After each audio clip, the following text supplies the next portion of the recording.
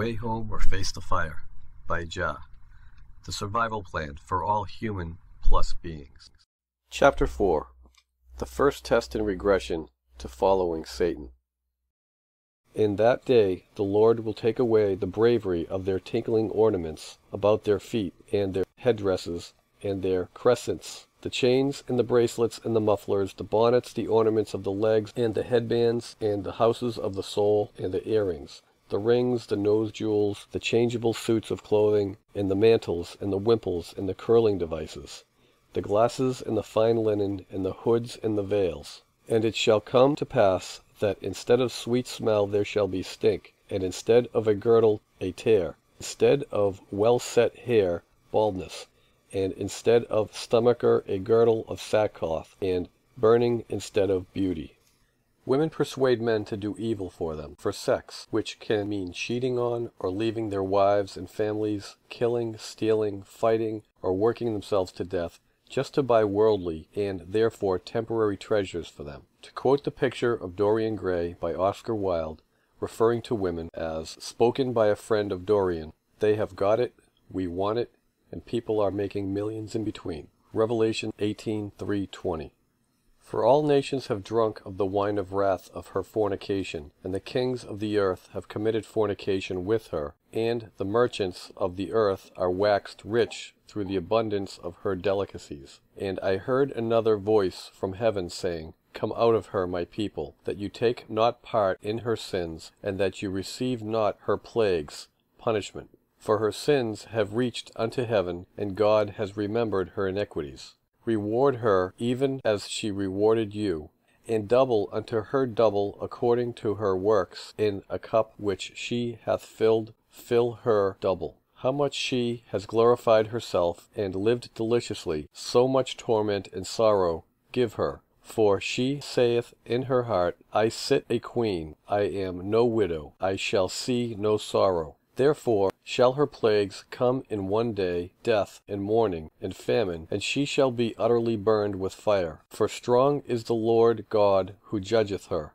and the kings of the earth, who have committed fornication, and lived deliciously with her, shall beguile her, and lament for her, when they shall see the smoke of her burning, standing afar off from the fear of her torment, saying, Alas, alas, the great city, New Babylon, Rome, that mighty city, for in one hour is your judgment come.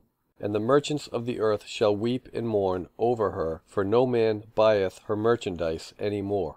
The merchandise of gold and silver, and precious stones, and pearls, and fine linen, and purple, and silk, and scarlet, and all thyine wood, and all manner of vessels of ivory, and all manner of vessels of most precious wood, and of brass, and iron, and marble, and cinnamon, and odours, and ointments, and frankincense, and wine, and oil, and fine flour, and wheat, and beasts, and sheep, and horses, and chariots, and slaves, and souls of men. And the fruits of thy soul lusted after are departed from thee, and all things which were dainty and goodly are departed from thee and you shall find them no more at all. The merchants of these things, which were made rich by her, shall stand afar off for the fear of her torment, weeping and wailing, and saying, Alas, alas, the great city, Rome, that was clothed in fine linen, and purple, and scarlet, and decked with gold,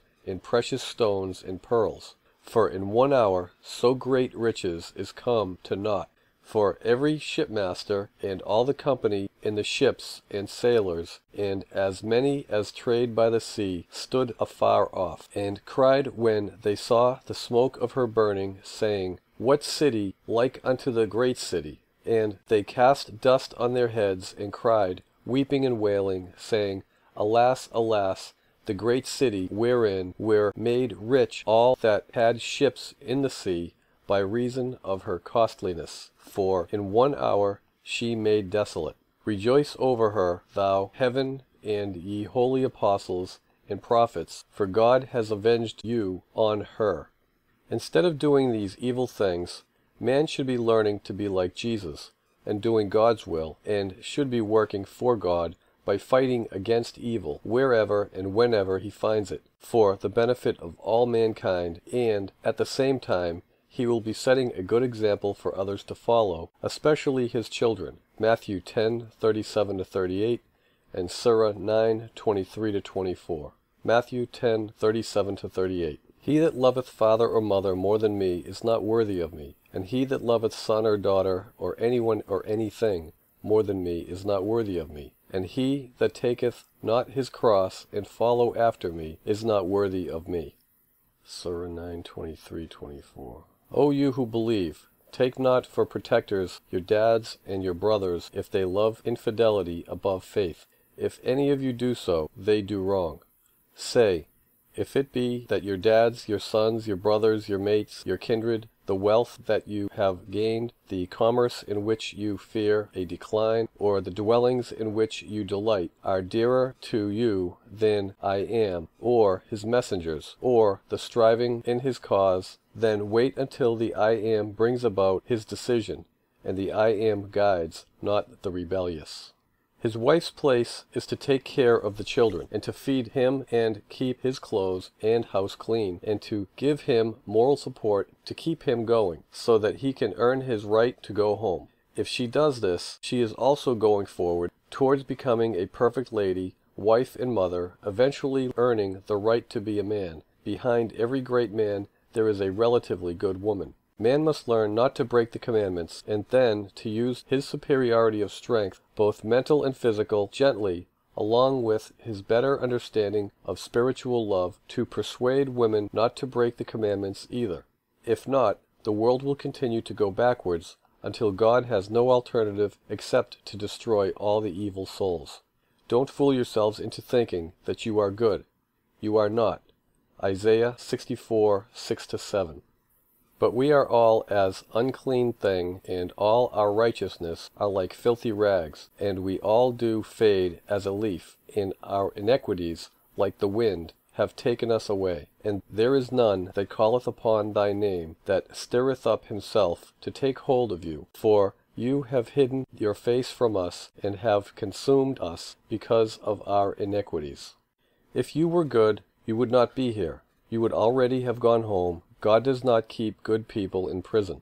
It is impossible for man to do what he should do until he learns to worship pure love, God, instead of sex, one of the devil's weapons, and to know the difference between the two. Jesus gave his love to the world instead of to a woman, pure and unselfish spiritual love as opposed to selfish animal emotion, and voluntarily made himself into a eunuch metaphorically. Matthew 9:12. The third type. But when Jesus heard that, he said unto them, They that be whole need not a physician, but they are sick.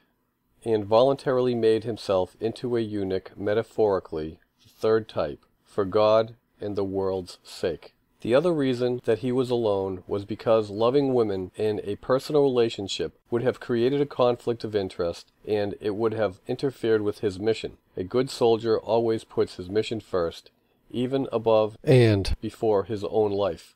A man has to do what a man has to do. A wife or mother will try to stop a man from doing what he has to do, using her husband's or son's love for her as a lever to try to stop him from doing anything that might endanger his life or her selfish material comfort and happiness.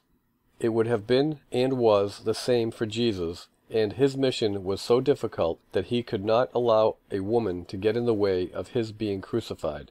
Also, it would not have been fair on any woman so Jesus chose to be alone, demonstrating total unselfishness in choosing to hurt himself by being alone rather than hurting someone else who loved him, self-crucifixion. Therefore, during his mission, Jesus separated himself from the female members of his family as much as possible. God has always used man to do his work, and to be his messenger, prophets, and all of Jesus' disciples were men. God created man, not woman, in his own image. Why? Satan has always used women to do his work, starting with Eve, trying to stop God's plan by trying to persuade men not to do what is right by using man's love for woman against man. 1 Timothy 2:14. And Adam was not deceived, but the woman being deceived was in the transgression. Man was told by God from the beginning, Genesis 3:16 17, that woman was not and could never be his equal, and God has reminded man repeatedly ever since. Genesis 3:16 17.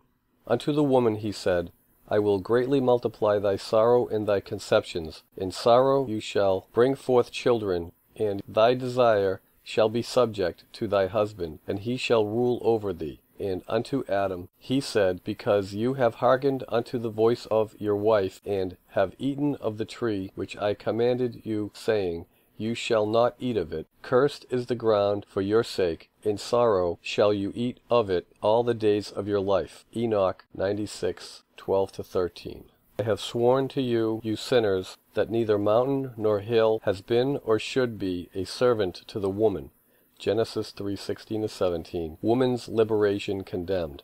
Neither in this way was your crime to be sent down upon the earth. First commandment. But men of their own heads have invented it, and greatly shall those who give it, woman's liberation, efficiency be cursed.